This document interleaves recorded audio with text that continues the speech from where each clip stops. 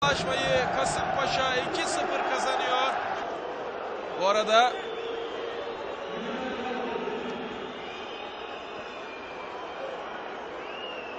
ortalık bir anda karıştı.